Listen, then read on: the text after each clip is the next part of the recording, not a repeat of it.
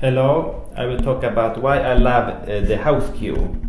And one of the many reasons is that the house cue is more consistent in tournaments.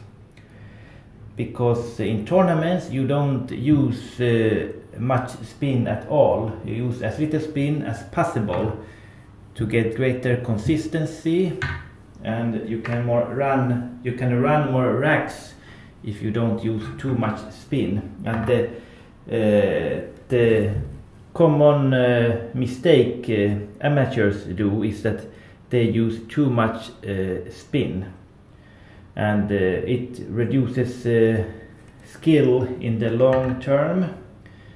So if you start by making the shots with as little spin as possible you start improving your game and you start winning more matches. So in the tournament you I like uh, the house cue has made me, we, me house cue made me win more matches in a tournament compared to the predator.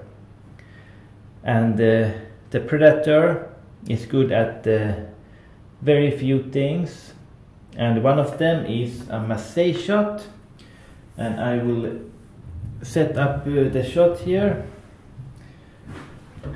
Let's say you have blocking balls like this. Do you make the massé shot a trick shot like this? No you don't don't do that. Because in a tournament you you kick the ball instead. You kick it. You don't you don't make a crazy massé shot to, to make the ball because that is a very low very very low percentage shot. And uh, all the low percentage shots you you you never you never attempt those in a tournament.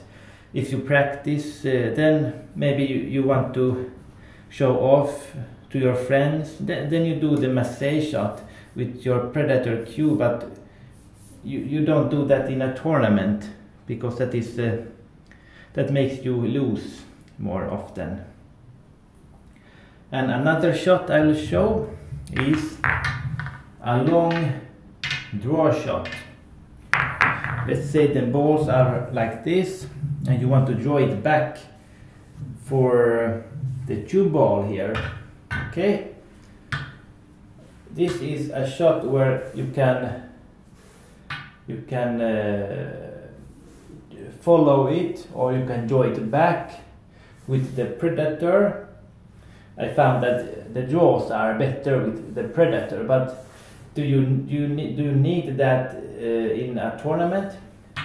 Do you need to make a crazy long draw in a tournament? Uh, I have never needed to do that because there are other alternatives that you can do. Like you, you can follow it instead. You don't draw back the cue ball here. You you do other other things. Like uh, let me show.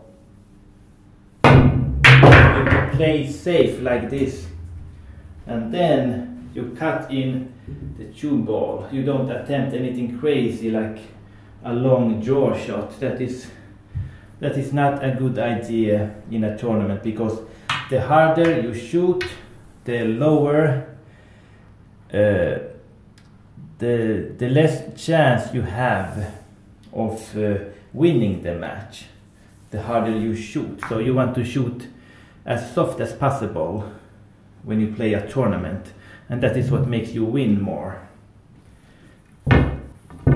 House cue is the best in the tournament the Predator which I used before it is only for trick shots.